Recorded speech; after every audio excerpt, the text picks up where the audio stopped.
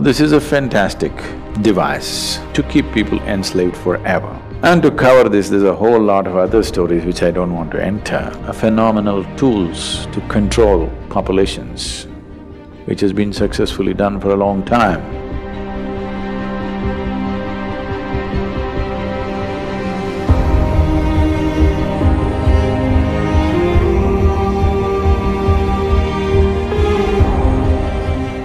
It depends on how we shaped ourselves.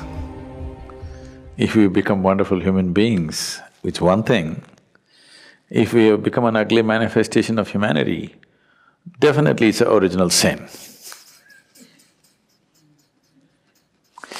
It's a mistake.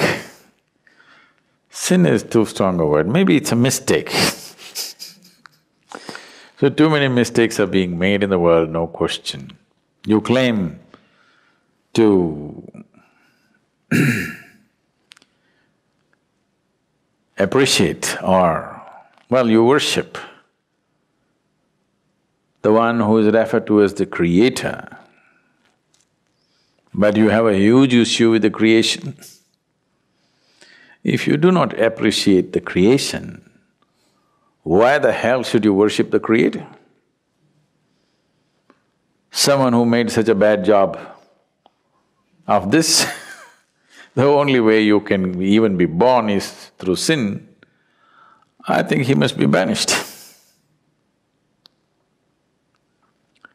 now, this is a fantastic device to keep people enslaved forever.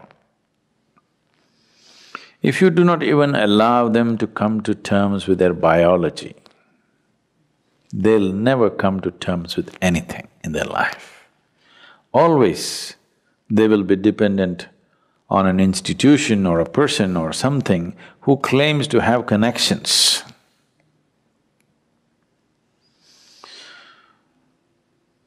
An Italian mafia guy was once brought to the law court and uh, he just walked in with this fat cigar in his hand and like this he came and sat down like he's a guest. Then the judge looked at his arrogance and asked, do you have a lawyer? He blew the smoke out and said, well, I got friends in the jury.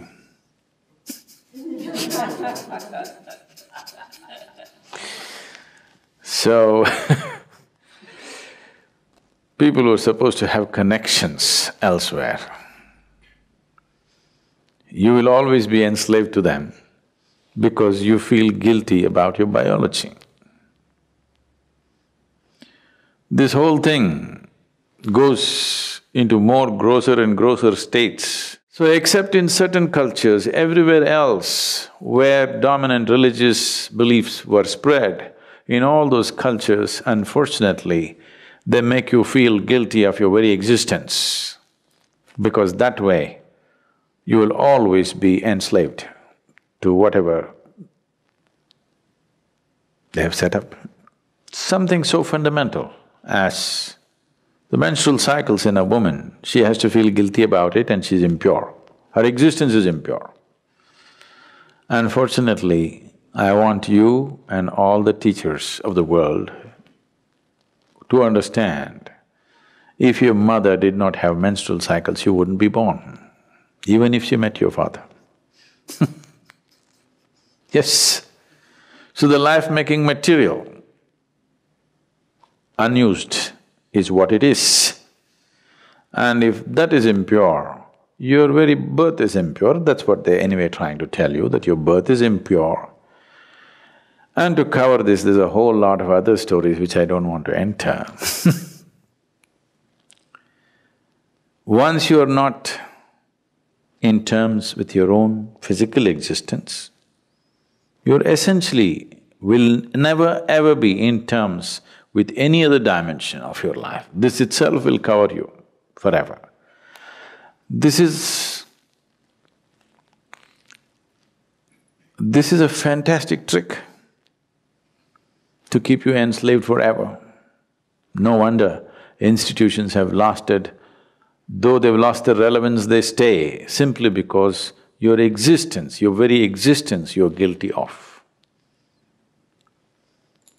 If you're guilty of your very existence, that means one or that which is the source of creation should be even more guilty. You are eternally guilty and that which has created all this must be even more carrying the burden of guilt. Guilt and fear have been phenomenal tools to control populations, which has been successfully done for a long time. It's time this is broken.